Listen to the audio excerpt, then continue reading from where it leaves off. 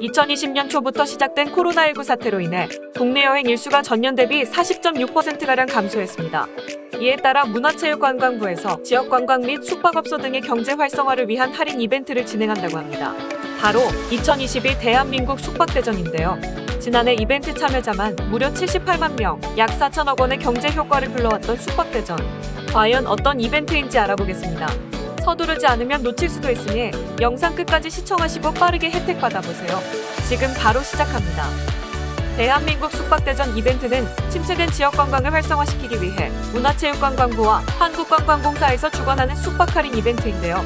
해당 기간 동안 국내 숙박업소 시설 예약 시 일정 금액을 할인해주는 이벤트입니다.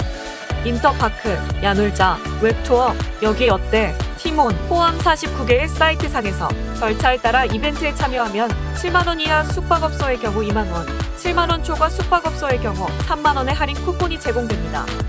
제공된 할인 쿠폰은 발급받은 날의 오전 10시부터 2일 오전 7시까지 사용 가능하며 기한 이내 예약 취소 시 사용한 할인권은 소멸됩니다.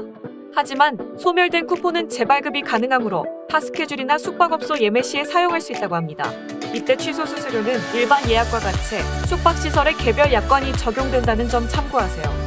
본 할인 행사는 지난 4월 7일부터 시작해 쿠폰 발행이 가능하였으며 5월 8일까지 이벤트 참여가 가능하다고 합니다.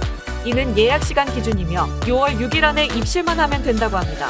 스케줄상 당장의 여행이나 외박이 힘드신 분들은 6월 6일 내에 일정으로 우선 예약을 해놔도 되는 것이죠. 쿠폰 사용 가능 업소는 관광진흥법 및 공중위생관리법 등에 등록된 한옥, 호텔, 콘도, 리조트, 펜션, 농어촌 민박, 모텔 등으로 국내 숙박업소 시설이라면 대부분 사용 가능하다고 생각하시면 됩니다.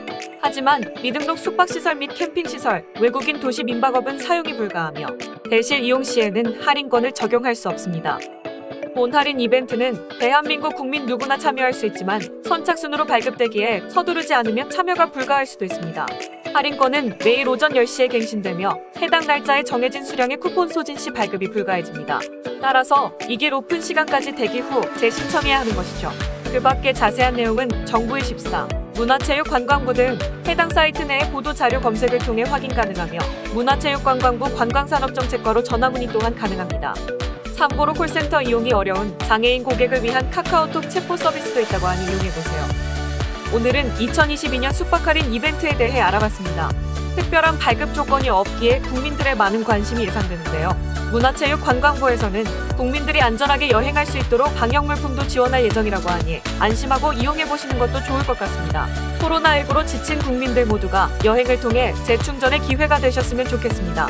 끝까지 시청해주셔서 감사합니다. 지금까지 박 과장의 금융톡톡 AI 앵커였습니다.